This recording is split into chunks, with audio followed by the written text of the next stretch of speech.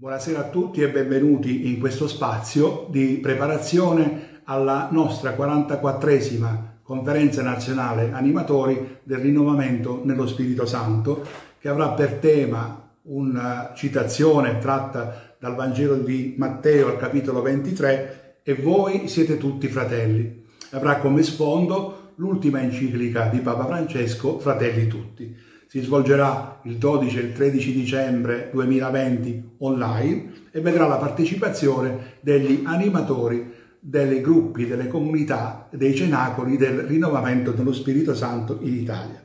Io oggi vi parlerò di una delle opere di misericordia corporale, che è dare da mangiare agli affamati. La visione profetica che sta animando la preparazione di questa conferenza animatori che di fatto è programmatica, quindi ci condurrà poi anche nel tempo a mettere in atto alcune iniziative, è quella di una spiritualità carismatica, per così dire, incarnata. Il tempo della pandemia che sta interessando l'umanità intera ha soltanto accentuato quelli che da sempre sono le necessità emergenziali di una parte della società. Del resto, la cura dei bisogni corporali e spirituali degli uomini è sostanziale e costitutiva di una vita fondata in Cristo Gesù Signore. Nessuno infatti può dire di amare Dio che non vede se non ama il fratello che vede. Nella solennità di Cristo Re dell'universo appena vissuta, abbiamo sentito nel Vangelo, sempre secondo Matteo, al capitolo 21, che il Re, cioè il Signore Gesù, ci parla degli ultimi tempi, ci parla della quello che ci attende prima di entrare definitivamente nel regno che Gesù consegnerà al Padre. Leggiamo qualche versetto dal capitolo 25. Quando il figlio dell'uomo verrà nella sua gloria con tutti i suoi angeli, si siederà sul trono della sua gloria e saranno riunite davanti a lui tutte le genti ed egli separerà gli uni dagli altri come il pastore separa le pecore dai capri e porrà le pecore alla sua destra e i capi alla sinistra. Allora il re dirà a quelli che stanno alla sua destra, venite benedetti dal Padre mio, ricevete in eredità il regno preparato per voi fin dalla fondazione del mondo, perché io ho avuto fame e mi avete dato da mangiare e così via seguono poi le altre opere di cui parleranno gli altri miei fratelli. Come possiamo allora oggi entrare nel vivo di una delle opere di misericordia corporale, cioè dare da mangiare agli affamati. Sarebbe piuttosto riduttivo limitarci al solo aspetto del soddisfacimento di un bisogno fisiologico, che è quello del nutrirsi, che è pur necessario. Tale bisogno, di fatto, non è altro che l'apice di una condizione dell'individuo ben più complessa e articolata, che richiede cura e un accompagnamento affinché diventi una concreta opera di risanamento del bisognoso in tutte le sue componenti, spirituale, corporale e direi anche sociale, per riflesso. Se una persona oggi si trova nella condizione di avere fame perché non mangia da giorni, evidentemente a questa condizione ci è arrivato per una serie di ingiustizie. Possono essere ingiustizie personali, scelte di vita sbagliate, oppure sociali che riguardano il lavoro, i salari e così via, che affamano l'uomo di abbandoni da parte dei familiari e possiamo aggiungere tante altre situazioni di crisi che ci portano a queste conseguenze estreme. Dobbiamo convincerci da cristiani e da persone che hanno fatto un'esperienza viva di Gesù che dietro una crisi materiale c'è sempre una crisi spirituale il Vangelo di Gesù, ma tutta la Sacra Scrittura, favorisce e promuove sempre, in ogni tempo, un benessere del genere umano. La vita è promossa dal Vangelo, non potrebbe essere diversamente se crediamo che Gesù è venuto tra noi perché abbiamo la vita e l'abbiamo in abbondanza, come leggiamo nel Vangelo di Giovanni al capitolo 10, versetto 10. Egli stesso Gesù sfamò le folle quando moltiplicò i cinque pani e i due pesci, con il fine ultimo però di metterle in condizione, anche fisica, di poter ascoltare la parola di salvezza. Non solo, disse ai suoi discepoli, date voi stessi loro da mangiare, cioè siate cibo di testimonianza per loro con la vostra vita convertita. Date loro ciò che siete, date loro ciò che siete. Ma ancora non c'era stata la Pentecoste e lo spartiacque, cioè tra l'io e il noi, che avrebbe fatto degli apostoli quel giorno dei veri diffusori di una nuova cultura, quella appunto della Pentecoste.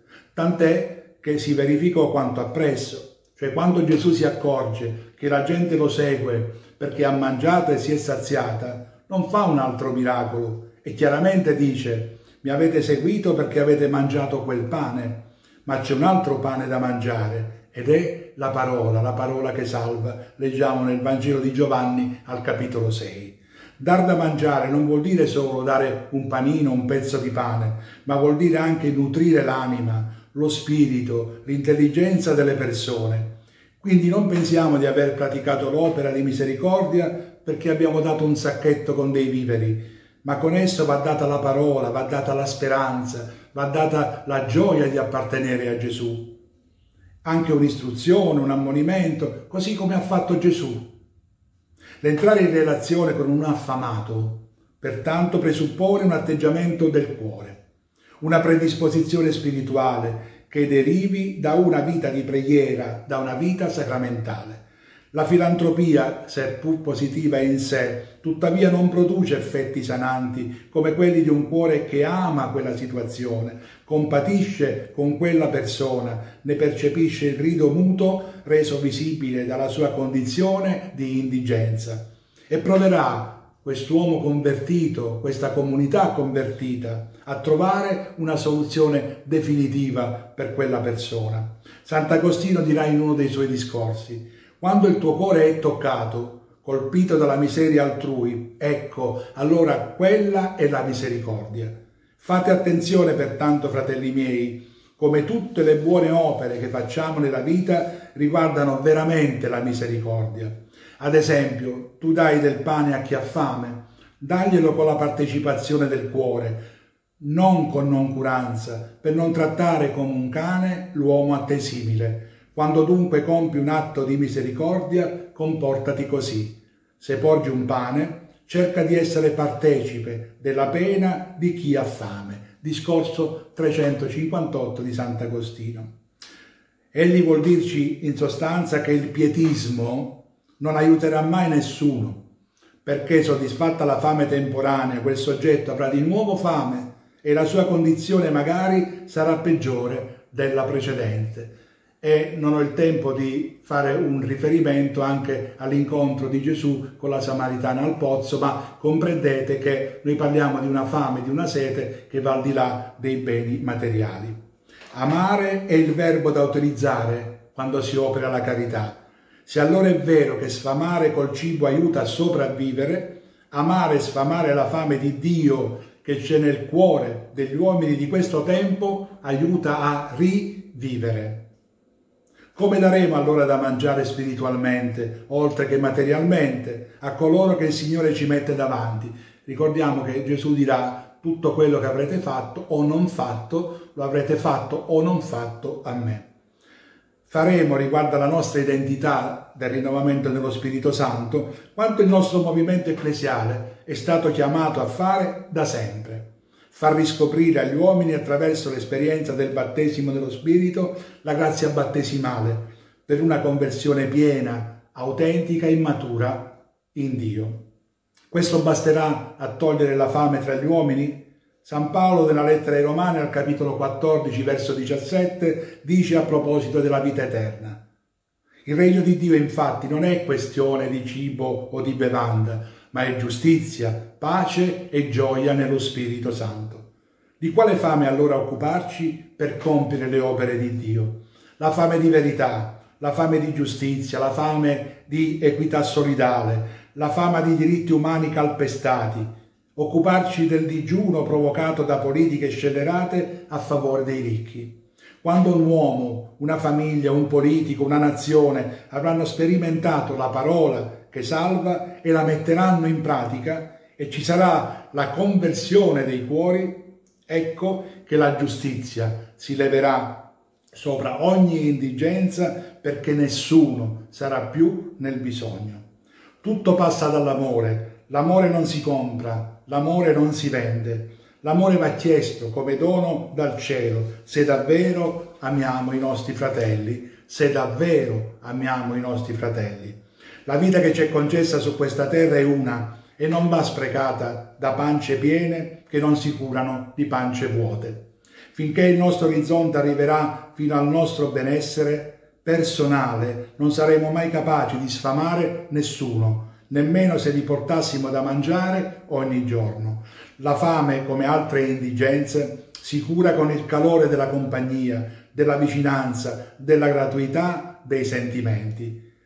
Siamo ormai in avvento e un detto recita a Natale siamo tutti più buoni e questo non è un complimento, guardate, per un cristiano. Vuol dire che per il resto dell'anno siamo meno buoni e questo non si addice a chi ama. I nostri gruppi, cenacoli, comunità del rinnovamento saranno sicuramente impegnati a venire incontro ai limiti imposti dalla pandemia, in particolare nei confronti di anziani, famiglie, impossibilitate addirittura a fare la spesa per mangiare, ma lo faremo da saziati dalla parola per saziare anche con la nostra testimonianza chi ha bisogno di una speranza, di un incontro autentico con Gesù. Concludo allora con le parole di Papa Francesco, rivolte al rinnovamento nello Spirito Santo nel 2015 in piazza San Pietro. Chiedo il vostro importante contributo per il rinnovamento, il Papa, in particolare per impegnarvi a condividere con tutti nella Chiesa il battesimo nello Spirito che avete ricevuto.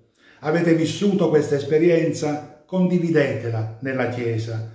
E questo è il servizio molto importante, più importante che si possa dare a tutti nella Chiesa.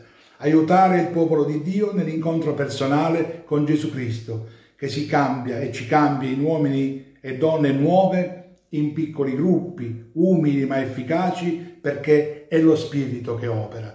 Allora in forza di questo patrimonio spirituale apriamo il nostro cuore a soddisfare la fame dell'affamato di cibo, ma anche di verità. Gesù è il Signore, alleluia.